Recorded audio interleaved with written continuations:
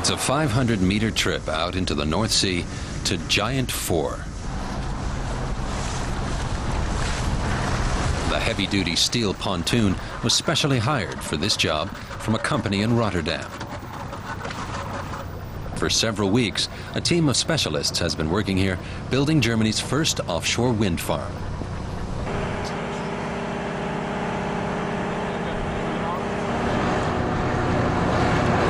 These 55 meter long foundation piles weigh 200 tons each. Moving them requires very big machines. Ja, stopp mal. Und nimm mal bitte jetzt langsam den großen Haken wieder auf. Lass mal bitte den hier. Ja, stopp mal.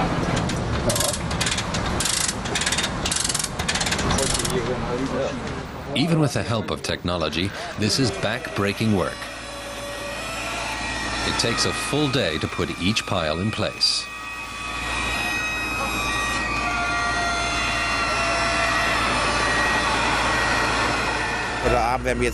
Tonight we're going to get the third foundation pile into the winch, position it, and lower it about 20 meters.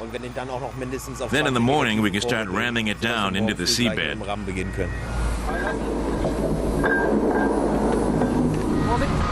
But there are still many more hours of hard work until then. The positioning winch consists of a gigantic steel frame.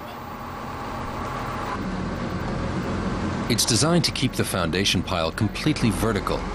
This is important because once the pile is lodged into the seafloor, it's there to stay. Each windmill will be supported by three such foundation pillars. We're using a special device, a large vibrating machine. Yesterday, we used this device to pre-install the pillar to a depth of 21 meters. Today, we have to pound it in the rest of the way.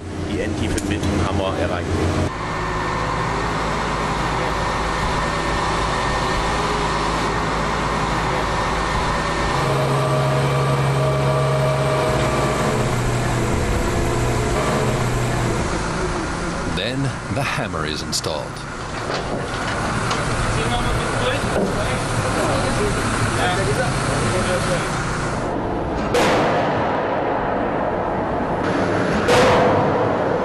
The 100-ton Colossus pounds each pile 40 meters into the seafloor, penetrating silt and rock-hard sand.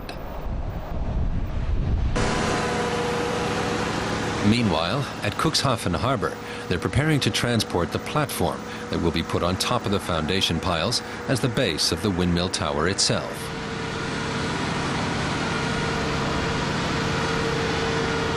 The platform weighs 490 tons, about as much as two Airbus A380s. It takes a day to load it onto a ship.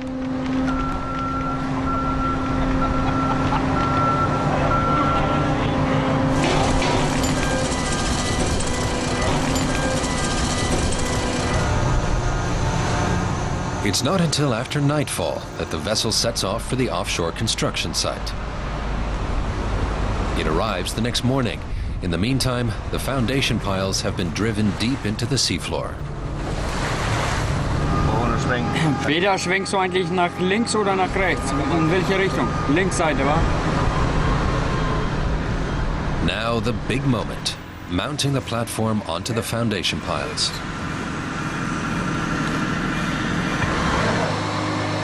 Towards evening, the platform is finally suspended above the piles. Bingo. A few more tense minutes until the platform is connected to the foundations.